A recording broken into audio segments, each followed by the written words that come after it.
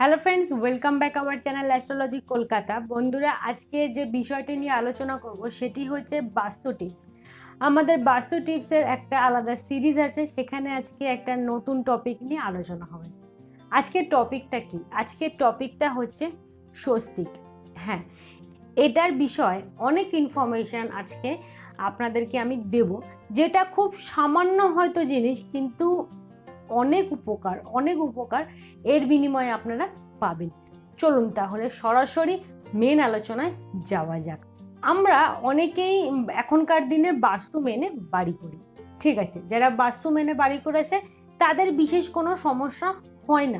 কিন্তু যাদের বাড়িটা বাস্তু মেনে নয়, তারা কিন্তু অনেকটা সমস্যার মধ্যে পড়ে। কারণ হচ্ছে একবার করে ফেলা জিনিসকে আবার তৈরি করা ভেঙে সেটা অনেকের ক্ষেত্রে পসিবল হয় না। তারা কি করবেন? তারা কি ওই একই সমস্যায় জর্জরিত থাকবেন? এটা কি কখন হয়? হয় না না। আমরা সবাই চাই এন্ড অফ দ্য ডে ভালো থাকব, সুস্থ থাকব, মানসিক শান্তি বজায় থাকবে, আমাদের ফ্যামিলি ঠিকঠাক থাকবে। এটা কিন্তু আমরা সকলেই চাই। আর তার জন্য কিন্তু অবশ্যই করে আমাদের বাস্তুটা ঠিক থাকার প্রয়োজন আছে। যদি বাস্তুটা ঠিক না থাকে, যেগুলো বললাম, এগুলো কিন্তু একটাও ঠিকঠাক থাকা পসিবল না তো তার জন্য আমাদের কি করতে হবে? আমাদের বাস্তুটাকে ঠিক করতে হবে। যাদের ঠিক আছে, তাদের তো কোনো সমস্যা নেই। কিন্তু যাদের ঠিক নেই, বাস্তু মেনে ঠিকঠাকভাবে বাড়ি নয়, তো তাদের দেখবেন অনেক ধরনের সমস্যা আসে। তারা এই একটা সামান্য উপায়ে কিন্তু সকল সমস্যা থেকে কিন্তু মুক্তি পেয়ে যাবেন।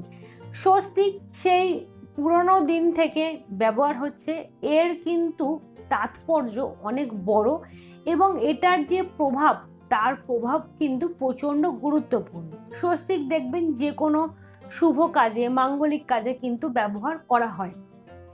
এই স্বস্তিক যদি আমরা আমাদের বাড়ির মেন এন্ট্রান্সের ঠিক ওপরে বা সাইডে কোথাও হলুদ এবং সিঁদুর মিশিয়ে ড্র করি এভরি থার্সডে তাহলে কিন্তু আমাদের যত রকম বাস্তু দোষ আছে, সেটা কিন্তু হান্ড্রেড পারসেন্ট কমে যাবে। এভরি থার্সডে ড্র করতে হবে এভরি থার্সডে ড্র করুন এবং সেখানে চাইলে আপনারা আপনাদের মনের উইশটাও জানাতে পারেন, সেক্ষেত্রেও কিন্তু অনেকটা ভালো এফেক্ট আপনারা পাবেন।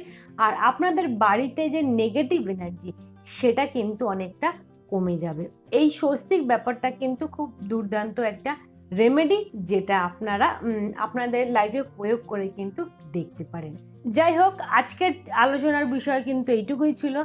দেখা হবে অন্য কোনো ভিডিওতে অন্য কোনো টপিক নিয়ে। ততদিন খুব ভালো থাকবেন। টাটা।